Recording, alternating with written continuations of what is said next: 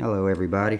This is something we've discussed on the forums a couple of times, and I think everybody thought I was nuts when I suggested that the spring that's in the fuel pickup line in the B uh, gas tanks, the Cox Babe Bee gas tanks, uh, helps the fuel flow up the tube. And uh, so I'm going to do a little demonstration here. I've got a spring and a tube. Put the spring in the tube, and I'm going to dip it in this cap full of um, glow fuel and watch closely as you see the fuel flow up all the way to the top of the spring just about as fast as it could.